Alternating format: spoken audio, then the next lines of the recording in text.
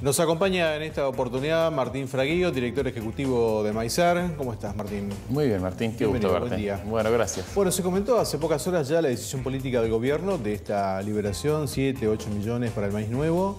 ¿Qué, lectura hacen ustedes de esto y qué impacto puede tener, digamos? Sí, fíjate que estamos eh, otro año más en el inicio de la campaña sí. y veníamos en los últimos dos o tres meses con una intención de aumento del área sembrada muy grande. ¿No? Inclusive cuando veíamos lo que fue la pre-campaña los meses de mayo, junio, inclusive se llegó a hablar hasta de un aumento del 20-25% del área sembrada, porque las ventas de ese momento de los insumos, sobre todo semillas y agroquímicos, eran enormes. En estas últimas semanas se fue dificultando la venta de maíz para el productor y eso tiene que ver justamente que al no estar abiertas las exportaciones, el maíz empieza, al el productor necesitar vender para comprar los insumos, empieza a no tener dónde colocarse, empieza a no haber compradores y eso genera una situación muy complicada en el momento de la siembra. Entonces, estas aperturas, lamentablemente la apertura que se anunció de la campaña actual de 300.000 toneladas es mucho menor de la que el Ministerio estaba pidiendo y menor de lo que sería ideal, ¿no? Lo ideal hubiera sido liberarlo completamente. sí mejor hubiera sido quizás un millón y medio como que pedía el Minagri. Y quizás lo más importante es volver a dar volúmenes grandes, ¿no? Se están anunciando 7, 8 millones de toneladas para la campaña que viene. Eso tiende a ayudar, es mucho mejor que lo que ocurrió durante 2011 de todas aperturas pequeñas.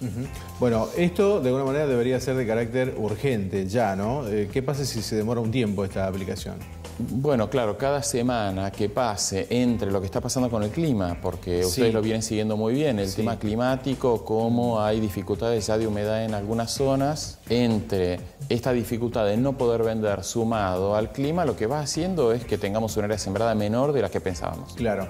¿Esto va a tener impacto en el precio o en la decisión de siembra, Martín? Sí, impacto sobre todo en la decisión de siembra. El, precio es probable que veamos alguna modificación en las posiciones futuras, o sea, las posiciones de 2012. Eh, Pero no creo que en el precio actual nosotros veamos una modificación. Pero ya que el productor tenga la posibilidad de vender al precio que hoy vemos en la pizarra ya es algo muy importante. Sí, seguro. Bueno, y el área de todas maneras venía con un estímulo importante. Esto de alguna manera va a reasegurar las eh, perspectivas que existen.